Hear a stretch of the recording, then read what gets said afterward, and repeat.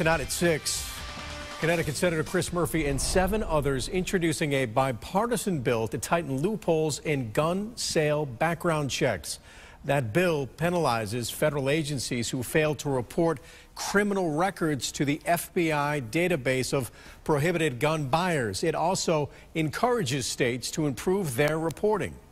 States that don't comply with the background check system are going to lose out on millions of dollars from the federal government. The four Republican and four Democratic senators are confident that this bill can pass the Senate.